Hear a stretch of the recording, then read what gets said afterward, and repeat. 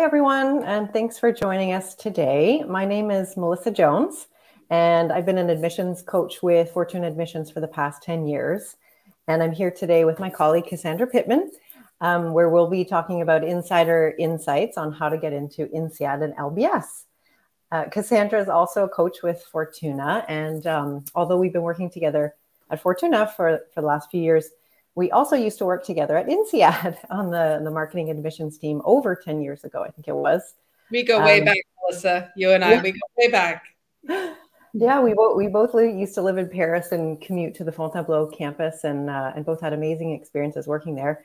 Um, but Cassandra also used to work at LBS in uh, marketing admissions, and is also a Columbia Business School alum. Uh, so yeah, we're thrilled to be speaking to you today about what I would say are our two two favorite schools, even though we both coach on all of the business schools.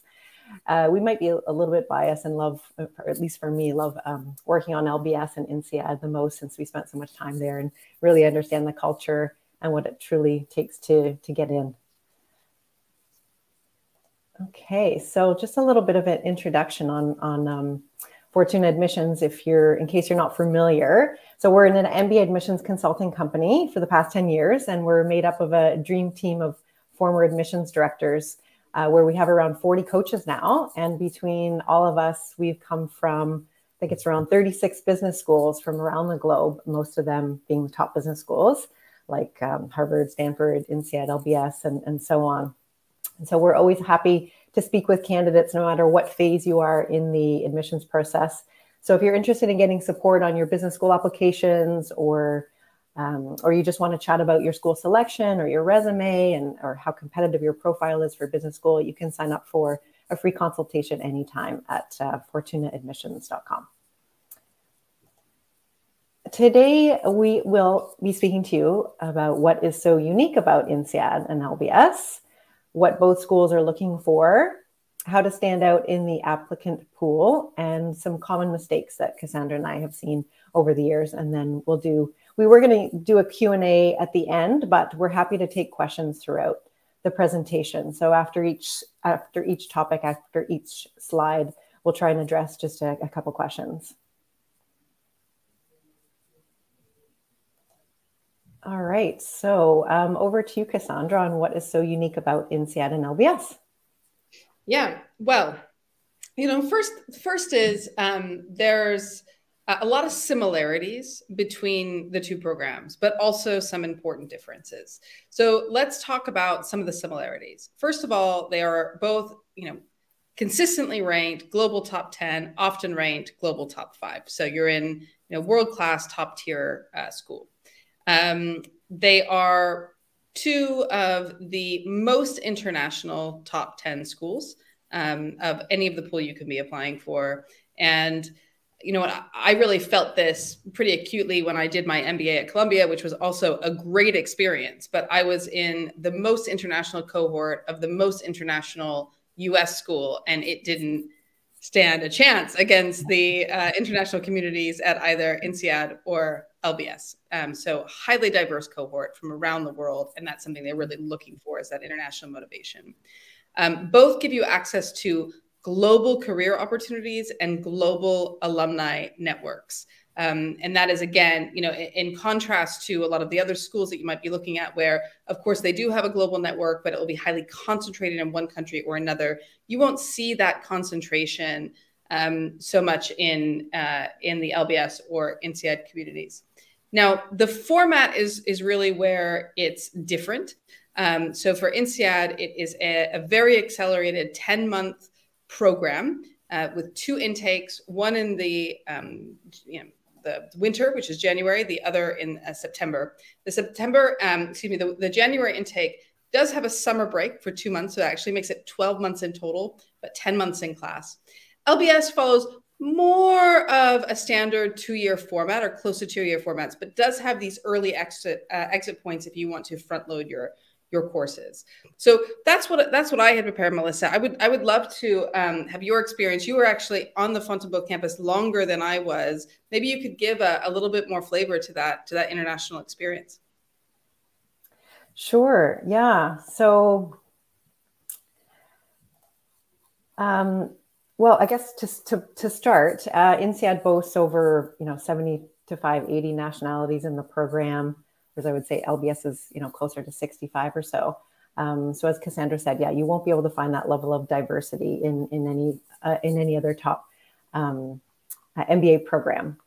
And I guess one of the things that INSEAD uh, well, you probably already know this, but they have the three fully integrated campuses. So one, the one in France, one in Singapore, and then uh, more recently in Abu Dhabi. So students can actually go between those three campuses throughout their 10 month program.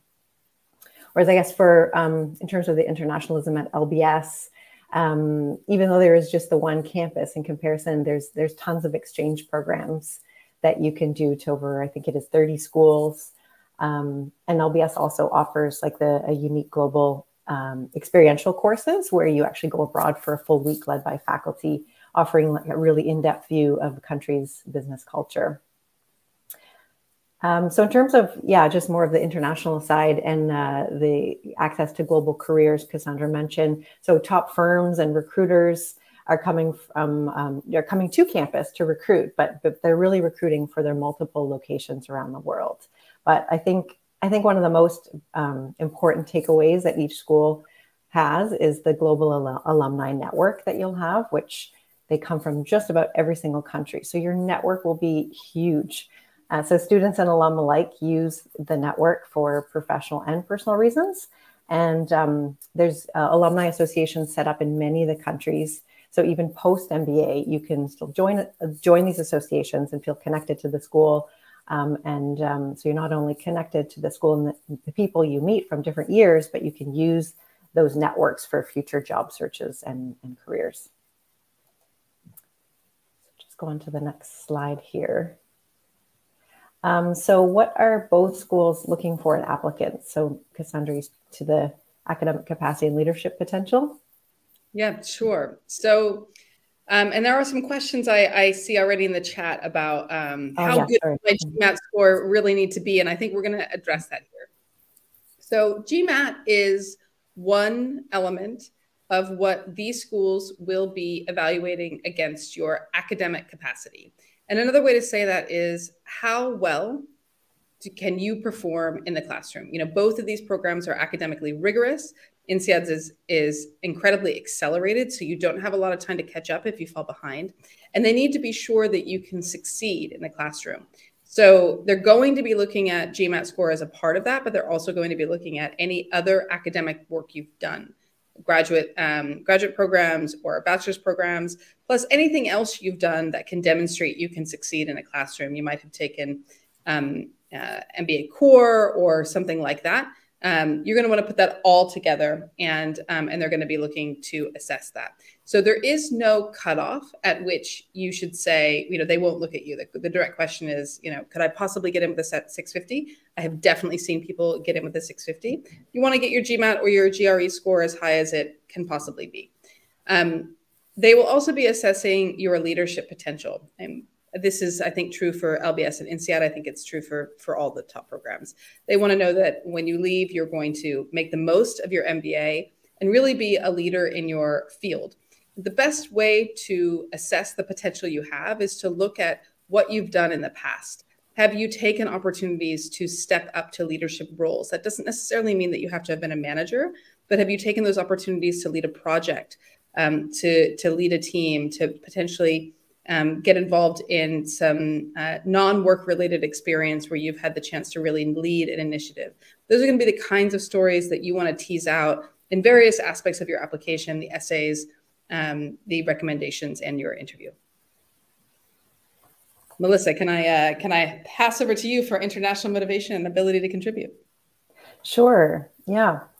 Um, so we've spoken a lot about internationalism um, for these schools, but uh, so when when in terms of your application and in the essays, what they're really looking for is um, you know for people that have worked abroad, studied abroad. Um, uh, maybe you deal a lot with with uh, international clients at work, or maybe you've done a lot of travel, or you speak a lot of languages. Um, but I think the most important thing is in the essays, like if you don't have a lot of that experience, um, you really need to show that motivation that you're that you're interested in working abroad or um, post MBA. Um, um, and then, of course, INSEAD also has a very unique language requirement, which can be tough for some. But uh, you do need to speak two languages to be admitted to the program, um, one fluently and then one at a, at a practical level.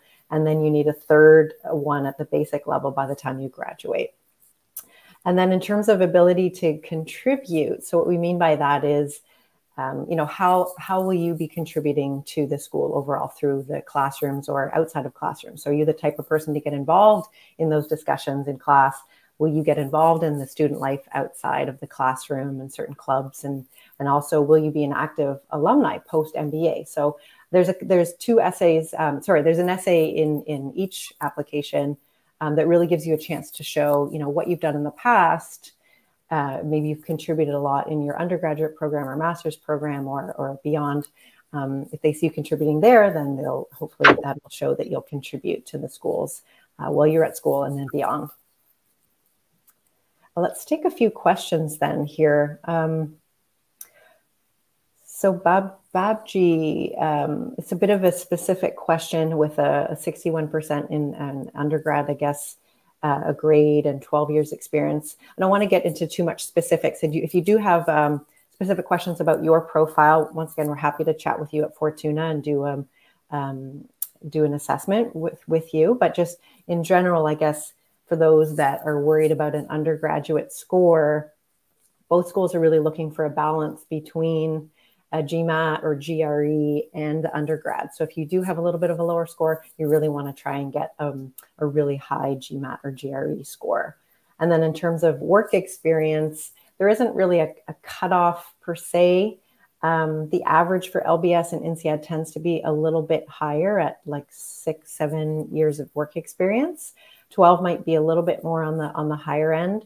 Um, um, so there are some programs that are well, you could assess if you're if if it could work for a full time MBA or an executive MBA. It's really something where I think we would have to assess that on a on a case by case basis. Um, yeah, Cassandra, do you have anything to add to that? Um, no, no, I think that that covers it well. I think kind of if I can take a step back from some of these very specific questions about, you know, this is my score on the GRE and you know this is the GPA or what have you.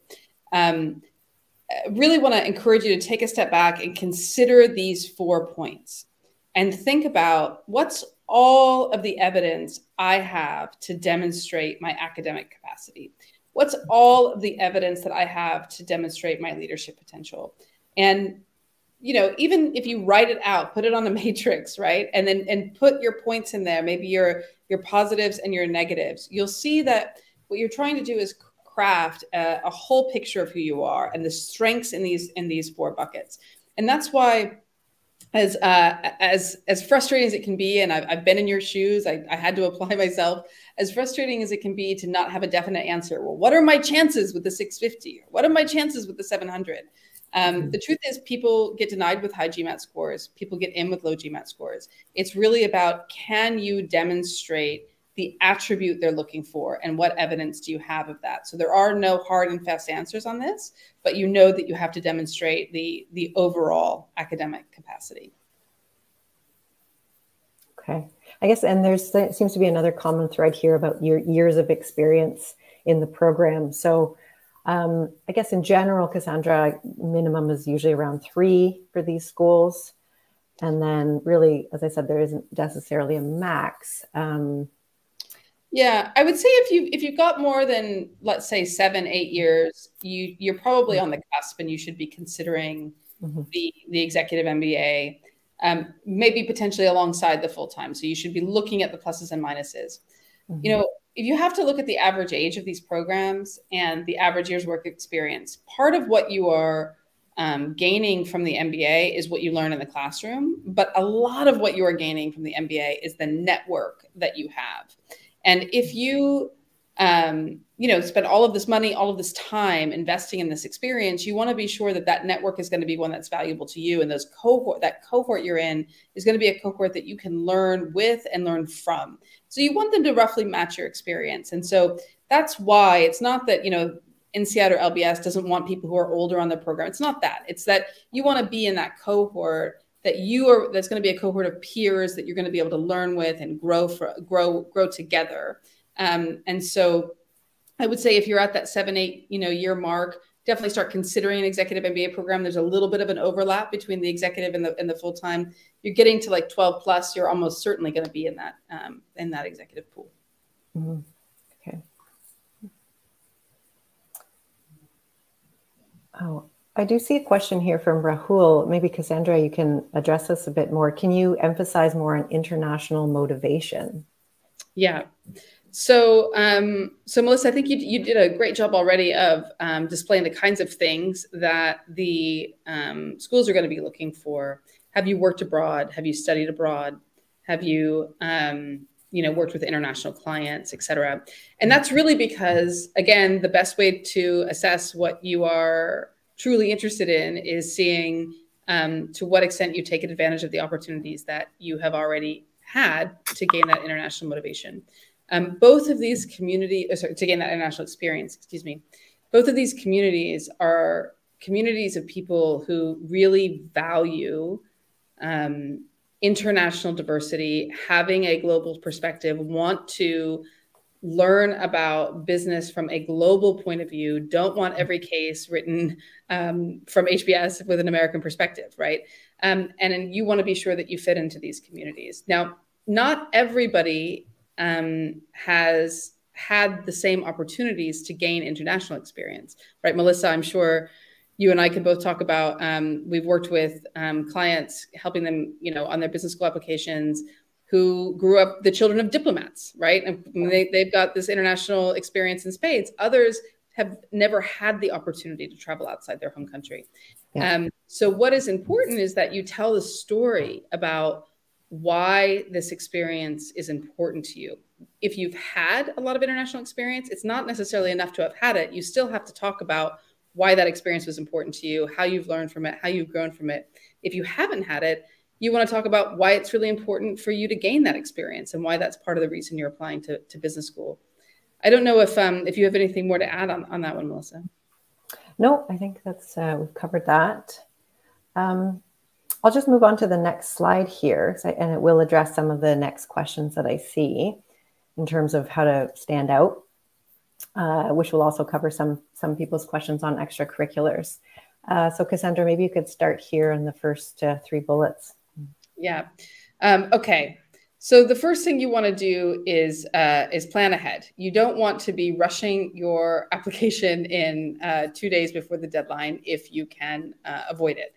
I have actually worked with a client who did an entire INSEAD application in uh, three and a half days. Oh, me too. neither one of us slept a lot. Um, uh, it's it's not the way you want to go. So, yeah.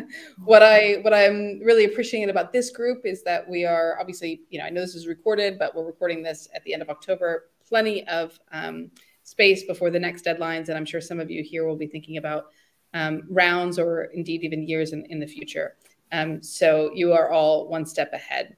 The reason you want to plan ahead is because you want to give yourself time to do the introspection, to really understand what is unique about you. How do you want to tell the story to these, your story to these two schools in a way that demonstrates your fit and makes the best case for your candidacy? Now, both INSEAD and LBS are long applications compared to some others. Mm-hmm. So both are going to be roughly 3,000 words, give or take. That's wonderful because it gives you more space to tell your story, but it also means that, you know, you need to be really cognizant of how you use those essays and how you use that space um, to tell the right stories in the right spaces.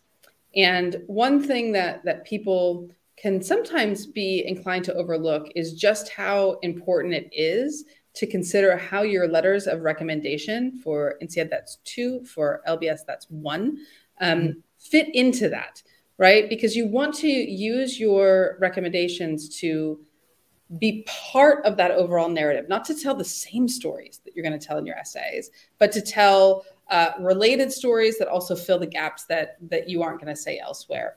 And so we really recommend that very early on in your process, You um, are coaching your recommenders on why you're applying to these schools, what they're looking for, what they're going to be asked, and the kinds of things that, that have come to your mind um, that they can say. It's really important to, to do that early. Um, uh, again, Melissa, I don't know if you've had these um, these anxiety producing stories, but I have on occasion worked with clients who are um, chasing their recommenders down hours before the deadline, and it yeah. is so stressful. Uh, you really want to save yourself that anxiety if, if you can. Yes. Yeah. All right. So, so yeah, let me hand it over to you to talk about career vision. Sure. Yeah. So both schools have essays where you get a chance to write about your career aspirations, and it's really best to not be too vague here. I've seen um, essays in their first drafts, and someone might say, you know, they want to start their own business. Well, it's a bit too vague. So, you know, what what kind of business and why? Like, what's your passion around this career goal, whatever it may be? Um, and really schools want to know like what kind of impact on the people or communities or the world are you trying to make? So you really need to flesh this out. Lbs's entire first essay is really around your career vision so it needs to be clear and really come across as achievable. And then same for INSEAD it's a little trickier for INSEAD you only have 100 words which is super short so it needs to be very factual and as clear as possible for for example like include what kind of potential title. It could be post MBA or some sample company names, uh, company names that you're interested in working in, and maybe even mention geographic uh, location. Um, I know for some people it's really hard to know what you want to do post MBA, but you really do need to show um, that you've done your research and, and that you have a plan. Uh, one thing that we do at Fortuna that, that helps people that might be a bit stuck and, and unsure what to do, we offer this, this career vision course uh, which really makes you think and do the research. And um, you know, it can take it can take quite a few days to kind of complete this course and do the research on your own. Um, so it's a lot of introspection, and some things really might come up for you that you hadn't really thought about. So if you have a chance to do something like that, um, make sure you yeah put it put in a, um, do a lot of self reflection on this and do a lot of research so you can come up with a viable career goal um, that would make sense to to admissions. And then uh, another big part is to be authentic. So, um, as Cassandra was saying, like in some of the essays, you have a bit more of an opportunity to show, um, to share share your stories and really your your personal side. Like we, they want to know about your past a lot of the time and what motivates you. What are your values? Um, so the more real and vulnerable you can be, sometimes the better.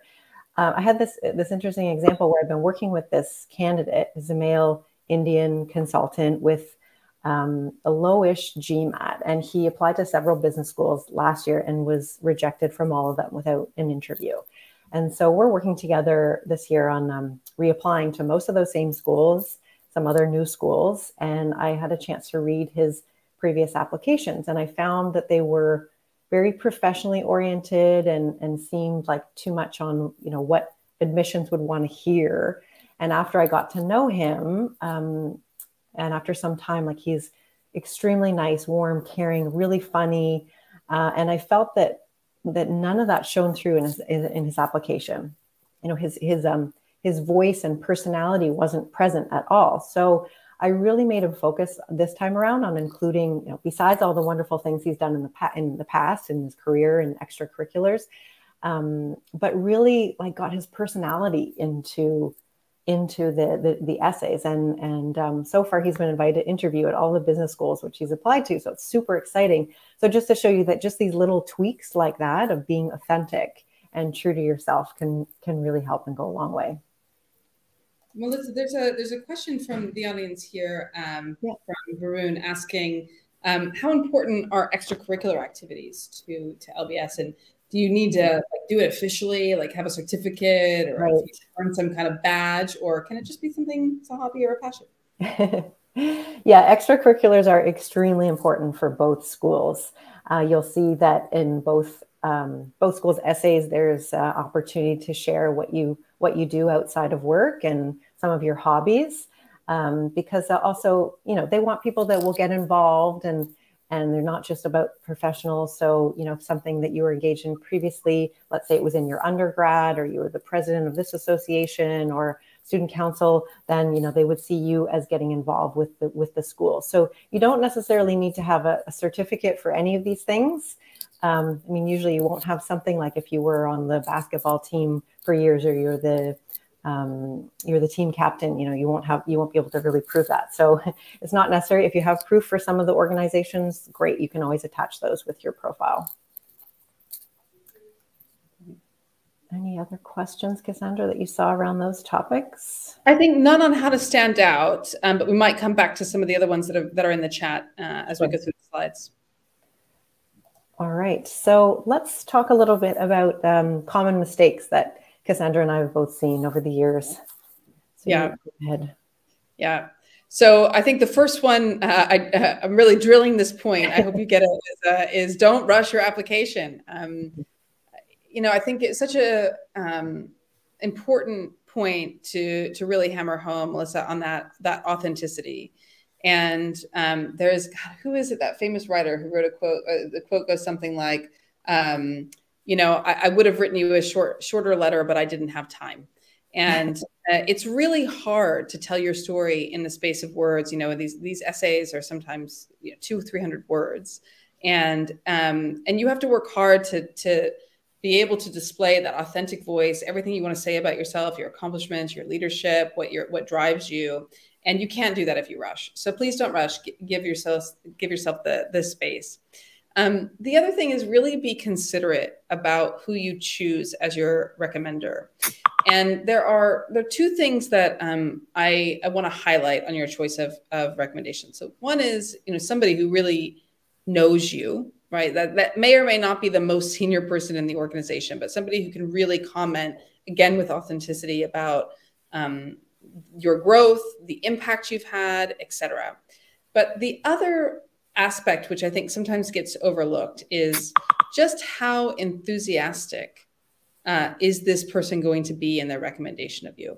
And when you read a lot of these, uh, and you know, Melissa and I have read a lot of these you start to just really recognize these patterns between um, a recommender who is, you know, being polite and kind and probably truthful and writing a recommendation, and one who you just think, wow, this person really wants this candidate to succeed. They are just really in their corner. They think this person is like amazing. You can really feel that difference. So don't just choose you know the the person that you think is you know the most senior et cetera really choose that person who knows you and who is just in your corner as uh, as an advocate of yours um, is my is my strongest recommendation. Maybe I'll, I'll, hand over to you, Melissa, to talk specifically about um, about common mistakes we see with INSEAD. Sure. So the first is um, is around um, so there's there's a there's a there's career essays for INSEAD, and then there's the motivational essays. And the first motivational essay is uh, probably the most challenging out of all of INSEAD's essays. And it's um, the question is give a candid description of yourself, stressing your personal characteristics you feel to be your strengths and weaknesses, and the main factors which have influenced your personal development, giving examples when necessary. Um, so even though they say it right there in the in the um, essay about personal development, a lot of times I find people focus a little bit too much on the professional aspect. So when you're asked about a strength, it's common to kind of divert and say, you know, what are your strengths in the workplace or in the office? And same with weaknesses. Um, so you really just um, you really just want to focus more on uh, you know what we were saying before and being authentic and vulnerable and really sharing your stories um, like what what makes you unique what motivates you. So often even going back like way back and speaking about you know what uh, your upbringing was like for example you know what um, did you have lots of siblings or what did your parents do? Who, was anyone an inspiration for you in your life? Um, you know what did you do a lot as a child? Were you one that was always reading books or uh, creating new things in your bedroom all by yourself? Um, you know like a lot of engineers um, you know might be building some some complex things as a child, you know, which might might be kind of amazing for admissions to read, or um, were you always playing sports, or you know, so a lot of those things, you, you know, made you who you are today as a child. So kind of think back. You can use stories from the past, um, and then maybe even as you age and get into you know your teenage years or in undergrad. Um, it's also a great opportunity to talk about any travel experiences that you had and um, you know the times you became really culture, culturally curious and can talk about your experiences on a on an exchange or what have you. So really try and focus on like a on a personal story. Um, it can even go in chronological order if you want, or you can have a lot more creativity with this with this essay, whereas a lot of the other essays are a bit more factual. And someone asked here, I guess relates to my my previous point around injecting like your personality into the essay. So that this essay in particular is a great one to do that. Um, and what I mean by that is, um, yeah, just just like instead of writing so professionally, you know, write as if it's just coming from you, like as a diary. Um, use exclamation marks if you you know if you're making a joke, if you have a um, a sense of humor. Um, it's just it's just things like that just to make it come make it seem more real as, as opposed to kind of this professional note. So hope that answers your question. Um, and then there's the answering why INSEAD everywhere in um, in the essay. So INSEAD actually doesn't have a question why INSEAD like a lot of other business schools like why are you choosing LBS why are you choosing uh, Columbia Business School or whatever? Um, they used to have this question, but they took it out a few years ago. And so what um, what they're and why they did this is I think a lot too many people are just you know writing what they found on the website and they weren't really gain, learning much about the candidate from from that specific question. So they don't want you to really be injecting the why INSEAD into these other questions because it's not it's not what they're asking. So really make sure you answer what the specific question is and save the why INSEAD for the interview part if you make it to the interview phase. Um, and then in terms of there's a achievement essay and a failure essay. It's grouped together. So they ask you what's your biggest achievement and what's your what's a failure that you faced. It's around 400 words. So you have, let's say, around 200 to answer the achievement, 200 to answer the failure. Um, a lot of the times, uh, in my opinion, I think it's best to, to show something prof- um, professionally as opposed to personally. Not always the case, but I just find that that can often work well. So um, you can use a professional achievement that you know where it has lots of good quantifiable results, like a really good outcome, and then what you learned from that experience. Um, so not choosing things like getting into my undergraduate school or getting like a really strong GMAT score, as it's just not not as interesting. And, and a lot of people are in, you know, have um, took a lot to get into their undergrad. So we want to make something that's really unique. And then same with the failure.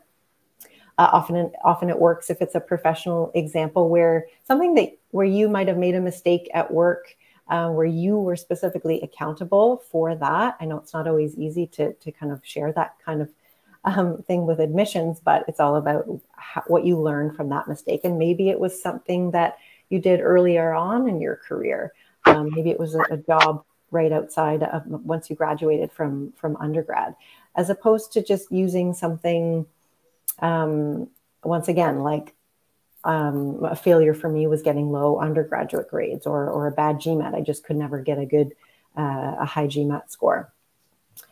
Um, and then in terms of the optional essays, so there are two for INSEAD. Uh, one question asks um, if you plan to leave your employer a few months before the start of the program, what will you do during that time? You don't really have to use this essay if you're not planning on leaving your employer. Totally fine to leave it blank. A lot of people do. It's just an opportunity for you to mention something that you might do if you were to leave your job early. Let's say it's um, you've always wanted to travel more or do some volunteer work abroad or something like that. It's nice to to volunteer that information there. Um, but as I said, it's okay to leave it blank. And then there's the other optional essay that says something around is there anything else that you wanted to share with with admissions um, so this this um, you don't necessarily have to use either because there are so many questions in INSEAD you probably were able to to relay most of the information about your past past experiences. Um, but this is a great opportunity to mention something that you might have missed, like maybe you have a startup on the side, some some side hustle. Uh, maybe your partner is applying with you, so it's a good opportunity to write that there. Um, maybe you use it for why you didn't choose your current supervisor as a recommender. Um, another option, a lot of people use it, is to address a low GMAT or a GPA in undergrad. Um, maybe you just couldn't get that GMAT score up there, but you really are really bad with standardized tests. Um, but you can really use this to maybe address, you know, how you're using quants and verbal skills at work, um, or and maybe highlighting some some strong grades that you had in undergrad that were all very quant heavy. So just a few examples there. Okay, over to you, Cassandra. Yeah, so for um, for LBS, it's uh, this is one of those areas where the schools are a little different, right? So mm-hmm. Melissa has just said um, you don't need to wax lyrical about why INSEAD in your INSEAD application. That it's really about you know uh, who you are, and then they will probe why INSEAD uh, if when you get invited to interview. LBS not so. Um, LBS wants you to to tell them um, how LBS is going to fit into your career journey, and they ask that specifically in the first essay. You know, essentially, the first essay is about um, where do you want to go, and how has what you've done in the past plus the LBS MBA going to get you there. And what they're looking for when we say LBS love is for you to go one level deeper than just my general management skills that I'm going to gain are going to set me up for success, right? They want you to show that research.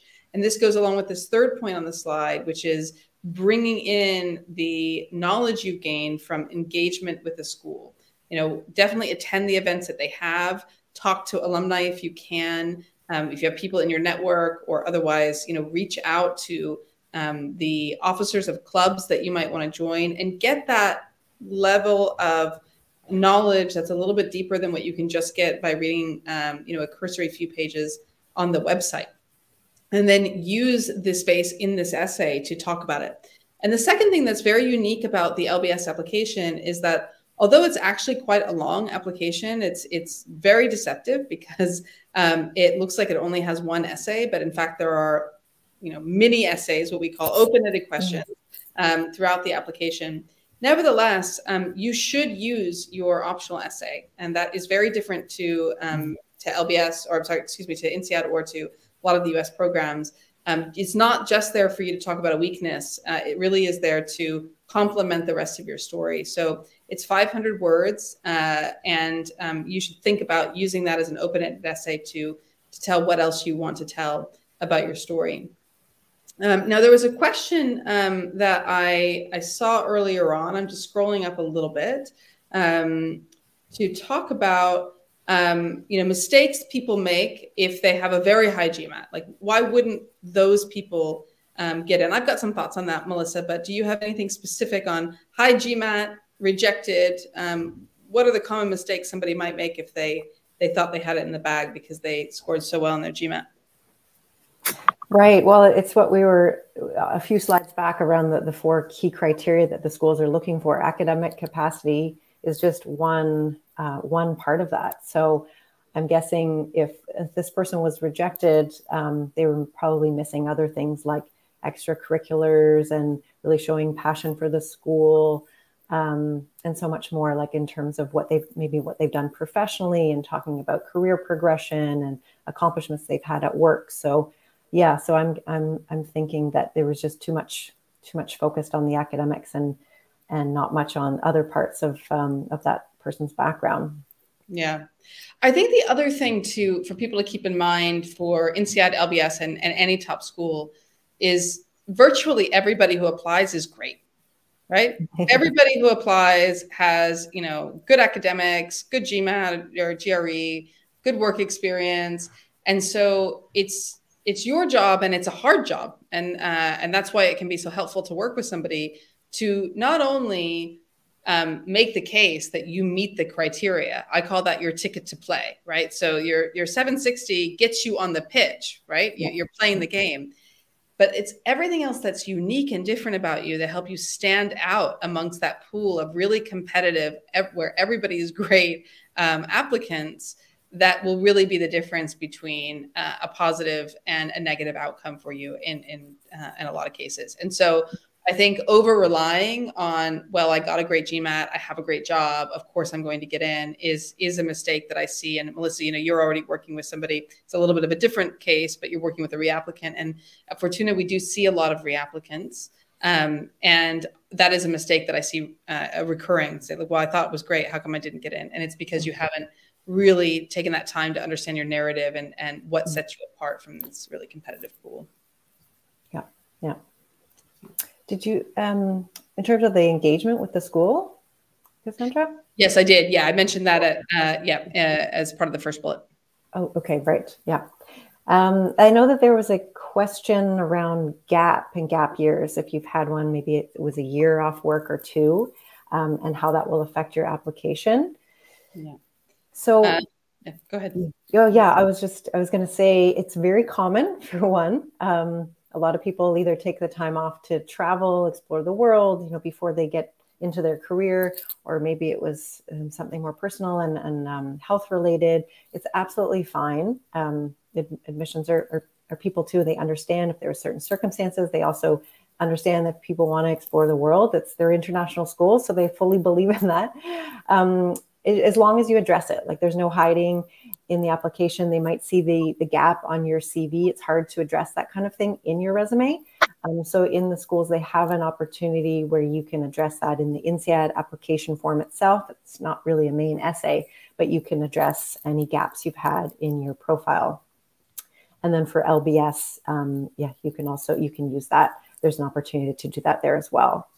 Or can always use optional essays to address, address these kinds of things too. Absolutely.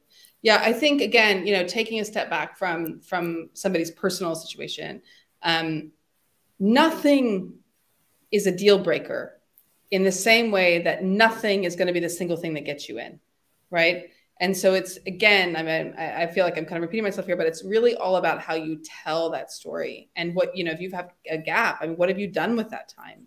Um, and and how have you used it and how can that be a part of your story that you are using to display your international motivation or your leadership potential etc um, so again think about these life experiences you've had and how they fit into to those criteria. There's a question here i see around um, is it a, a myth that lbs generally is known for a finance program um, and specifically said, what is the scope and exposure for strategy and consulting? Cassandra, you want to take that? Yeah. Um, so I think that um, if you want to be a consultant or you want to be a banker, both LBS and INSEAD can get you there. Um, I also think that it's true that um, you'll have more people going into finance, uh, certainly as a percentage of the class, uh, from LBS simply because of its proximity to the financial capital of Europe. Um, and you will have more people, both in numbers and in percentage of the class, going uh, going into consulting from INSEAD. Um, so just because a, a, school has a strength or it has kind of a critical mass of people who uh, who go into a certain field doesn't mean that that's the only thing you can do or that you can't be set up for success in, in another field. There are plenty of um, consultants or people going into strategy from LBS, just like there's plenty of people who go into um, investment banking from INSEAD. Okay. All right, we're just going to look through some of these questions to, again. So now is the time for for we'll we'll just leave it at the Q and A. Um, we have a few minutes left. Yeah, Cassandra, did you see any earlier that you wanted to address? There's a question here. Um, how important is your IR score on the on the uh, GMAT, Melissa? Hmm. Yeah, um, for these two schools in particular, they didn't start looking at the IR really until a few years back. So it's not um, as important as the verbal and quant score. They're really looking for a good balance between mostly the the quant um, and the verbal. I guess on average, um, for the schools, looking for like 75th percentile approximately for on both. Yeah. And um, how do you, uh, how important um, is diverse work experience? You know, for example, working in the US and, you know, EU, um, um, you know, so maybe across countries, across industries? Do they want to see that diversity of work experience, or do they want to see progression in a in a single place? Yeah, that's a good question. I, am sure Cassandra, you've seen you've seen both, right? I've Absolutely. worked with with people that have been at the same company and you know have had four or five different titles um, from the from one company, and then another candidate who jumps from industry to different titles to yeah to different functions. Like you know, you've seen it all, and um, I don't think there's a, you know a right or wrong way. A lot of times, people that are moving around a lot just may not know what they want to do, and they're trying different things. And I know that's what it was like for me uh, when I was starting out. And um, so I think for I guess when you are jumping around a lot, um, it does it does bring up some questions for admissions. So uh, luckily, for example, in INSEAD, you've got an opportunity to really discuss your um, your career not progression, but um, um, yeah, where where you've where you've gone, where where you started to where you are now, you have a chance to walk them through that and give reasons as to why you switched. So as long as you can give uh, a reasonable explanation, um, then it's then it's totally acceptable, you know, to be to be moving around quite a bit. But the career progression is also looks really great. Um, all schools want to see that. You've obviously been doing well if you have certain promotions, and it's often great to mention, you know, why you were promoted to that next position. What was it? What was it that you did at work? And maybe you could comment on a, on an accomplishment that you had there that got you to that next position. Mm-hmm. Cassandra, I don't know if you have anything to add on that. Yeah, I mean, I, th- I think you've you've hit the nail on the head. Um, uh, again, everybody is going to have different experience, right? And it's about how you tell the story, keeping in mind the criteria that the school is looking for, um, and telling that in an authentic way. And some people might have had a lot of diversity in their work experience, and some people might have um, been doing the same thing since they graduated, but they're still going to need to tell that story of progression. So it, it's all in the narrative. Yeah. Okay, so we're just looking through a few more questions here. I don't know if any new ones have come in. I'm just scrolling back. Um, what do you think? Is it um is it an issue if a candidate is actually on a career break? Maybe they've taken some time off to prepare their GMAT or something else uh, when they apply. You think that disadvantages them, Melissa? Yeah, that's um it does come up quite a bit. Uh, yeah, it's it's a bit hard to say. I mean, generally, it's best to be in a be working at the time that you apply. Would you agree, Cassandra? yeah, all things being equal, uh, it, it's it's better to be working. But if you're not working, yeah. you know, you need to be doing something that is more than um, preparing your GMAT. Why? Because um, everybody who applies to these schools has to take the GMAT or the GRE and most of them have to do it while working full time some of them have to do it while working for time and you know caring for a family and all sorts.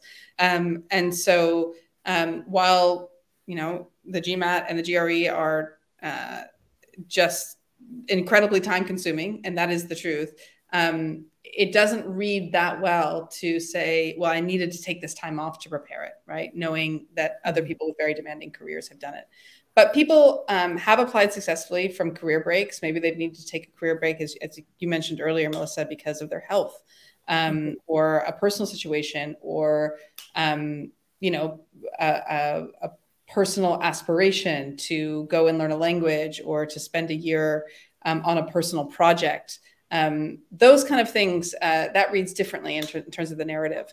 Um, but just uh, think about what you're doing on that career break and it has to be more than preparing the gmat and, and watching uh, reruns of breaking bad.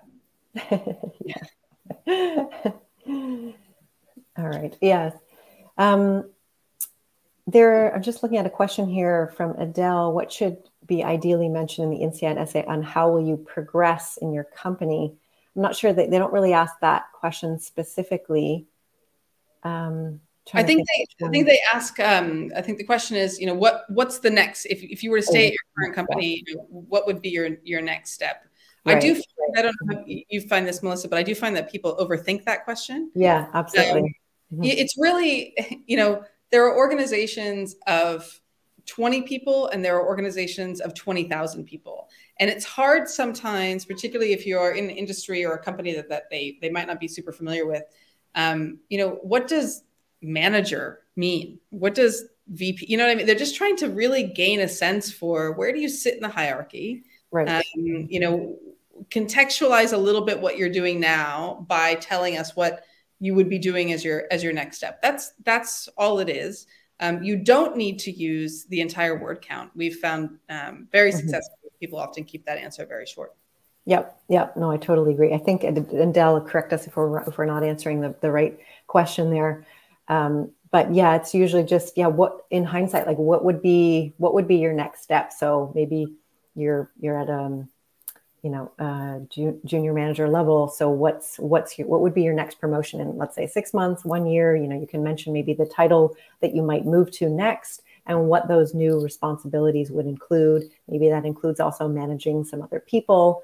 Um, so just kind of giving admissions a snapshot of what that new role would look like. Yeah. Okay. Has someone been um, how someone has been doing freelancing can pick up recommenders.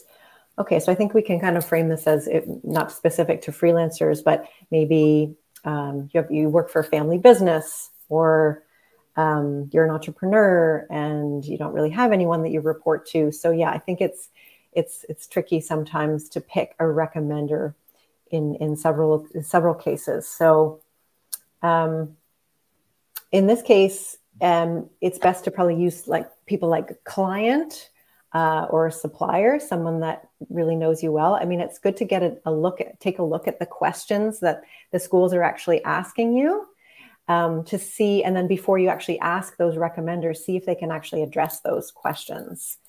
Um, anything else on that, Cassandra? I'm trying to think of for freelancing in particular. I guess it would just yeah. be mostly clients or or from a previous company that you worked at. It's okay yeah. to use a previous employer. Yeah, absolutely. And I think again, just kind of extrapolating away from from somebody's exact situation. Um, you know, people have this situation if they're working in family businesses, if they're entrepreneurs themselves. Um, but the criteria is going to be the same, right? If we go back to one of those early slides, we said it's you know somebody who knows you well, somebody who can speak to the impact that you've made, somebody who's really in your corner and is going to recommend you enthusiastically, um, whether that's a client um, because you are a freelancer or because you own your own business, um, or you know it could be an investor. Um, certainly, if you're in a family business and you know your your immediate supervisor is your mom or dad, um, you know they shouldn't write your recommendation, um, and and so you might also be in that in that same situation. Yeah. Um, Varun is asking uh, around um, private equity and sustainable engineering MBA options post post MBA. Um, not sure on the specifics of sustainable like engineering per se, but private equity. Anything you can comment on that, Cassandra? Yeah, I mean, look, both both programs um, have people going into PE either immediately after graduation or after a couple of years of um, investment banking. Investment banking. Um, look, it's one of the hardest career um, transitions to make. Uh, yeah. Everybody knows that. Uh, and so your in your application, if that is the career uh, trajectory that you want to follow, my strong recommendation is to really demonstrate that you have done the some of the legwork now and that you are going to put in the legwork to try to make that career change happen beyond just utilizing the resources of the career center, which you of course will will have, or career services, which you of course will have. They'll want to see um, that you've really done your research, you know, understood target institutions, already doing your networking, um, and really make that that case um, to, to what you want to do in the future. Now you don't have as many words to do that with your in the INSEAD application as you do with the LBS application, which means that you know at your INSEAD application you need to be ready to be grilled on how you intend to make that transition happen um, during your your interviews. Mm-hmm. Okay, thanks. Uh, there's a question here from here. Um, so, does working with foreign clients, like in U.S. and Canada, based while being based in India, count as international experience? Yes, absolutely. So we did we did mention this. This is part of um, one of the things that you can kind of weave in through the career essays, for example, just to showcase that you've been dealing with some international clients, and more than welcome to mention from where from where those um, those clients are based. Yeah.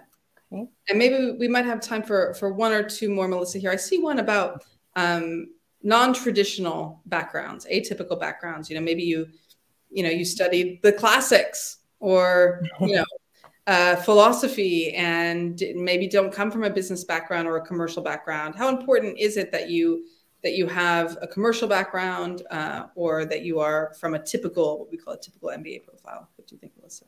Mm-hmm. well yeah the schools uh, love diversity. What can i say? So if you don't come from a like a business type background or um, yeah, that's that can actually set you apart from from other candidates to show you know what you've been doing. Um, you know, we've seen everything in the classrooms. You know, from from professional pianists or um, singers or athletes or you name it. So, um, you know, as long as you can show that in, well, I guess to show what you'd like to do post MBA, uh, is really important that you really need the MBA to fill those gaps and to learn, you know, things like marketing, accounting, finance, and so on, um, um, which will help you to gain that post MBA goal, assuming that it would be in business. Mm-hmm. Um, and then maybe a kind of a related question um, uh, is those people who are coming from startup land, right? At, uh, mm-hmm. So they work in startups, um, mm-hmm. very flat organizations, um, maybe you know they're not being promoted. I mean i have a couple friends who have done startups and you know whatever their job title is doesn't really mean much because everybody does everything right? I mean that's that's what it's like in startup. Yeah, yeah. Um, how do they show that that progression when you know they're going to be potentially be in the quote unquote same job on paper for however long they've they've been there? Yeah oh i've worked with a lot of people from startups. Um, and yeah as, as, they might not have as much opportunity to show career progression and but it's really just you know what to showcase what they've been doing at the startup how hard they've been working any results that they've achieved so far um, funding they've received you know what what's the plan look like? Maybe they're not making any revenue right now but they've got this projected plan. Um, that's maybe a great reason why you want to go and pursue an mba is to gain those skills to help uh, maybe you want to go back to the startup and help it grow um, so it's a great opportunity, a great reason as to why you want this MBA. Um, or maybe you're trying to get out of that startup and try something new. Yeah. Um, so think yeah. in terms of your your your your growth. You know, not necessarily right. your title growth, but your growth, how you've grown as a professional, and the mm-hmm. impact that you can show that you have had and made uh, in the in your time there. And then I would say third for those of us who have, uh, you know, we work with um, people worked in startups. Not every startup is successful. So sometimes um, also showing the self reflection and the learning journey you had, um, if your startup wasn't successful, can can be um, something that strengthens your application as well. Yeah. Well, thank you everyone for all these great questions. I, I'm not, I don't think we got to all of them, but very happy to take them after the session. You can email us at info at fortunaadmissions.com. Um, and once again, if um, um, if anyone's interested in, you know, having their profile reviewed or have specific questions about their profile, uh, maybe you're you want a little bit more information on school selection. Um, maybe you're interested in working with a coach. You're not sure. You want to learn a bit more about how that works. You can reach out to us anytime at fortunaadmissions.com, and we're happy to do a free consultation uh, for around 30 minutes or so. Um, so yeah, thank you so much for joining us today. I hope we were able to answer a lot of your questions and wish you all the best of luck with your INSEAD and LBS applications. Yes, best of luck, everybody. Thank you. Thank you. Bye bye.